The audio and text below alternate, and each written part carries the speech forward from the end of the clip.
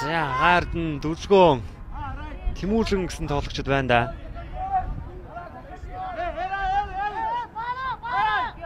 За дамжуулт нилээн дээгүүр давсаа хашлуун төвдөө үлдээсэн ханаас нэмсэн!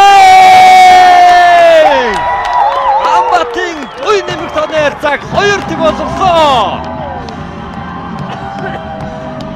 За дахиад одоо 5 гол хэрэгтэй. Ямар ч байсан 2 голыг их наагс давуулаад авлаа.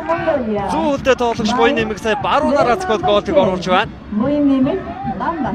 За хашлууны дамжуулт байсан төвдөө үлдээсэн. Яа төгсгөл гоё байжээ. Тоглохын тооны цаг 2 тэг Баалгач хашлуун урагшаа орж ирээд ингээд голын дамжуулт төглөөд байгаа.